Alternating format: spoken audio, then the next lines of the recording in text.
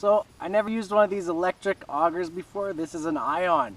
And uh, my buddy has it rigged up with the Mora Ice fin bore blade. You can see that uh, pretty aggressive blade system there. And thought I would show you how it cuts. I was actually pretty impressed. We have some layered ice here, so it makes drilling difficult because it gets jammed in between the layers of ice but still does pretty well and it can drill actually surprisingly a lot of holes on one charge. Uh, I wasn't um, sure if it would meet my needs of drilling a whole bunch of holes but guess what this thing can do pretty well. He has a couple spare batteries and usually I drill a whole bunch of holes and in one day we might only go for through a battery and a half out here. So with no further ado let's drill a couple holes you can see how this thing bites.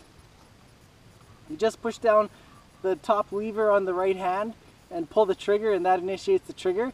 It actually has a slow start so it doesn't rip it out of your hands. Just watch this.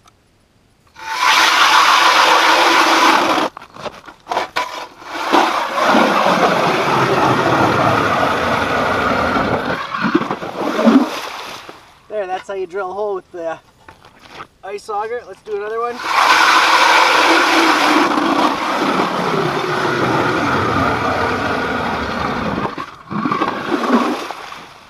Of course when the battery gets a little bit weaker it doesn't drill quite as fast but you have to charge your battery or put in a new one and continue drilling. As you see it goes through about 20 inches of ice no problem. Hey if you don't like stinky gas in your shack this is another good option.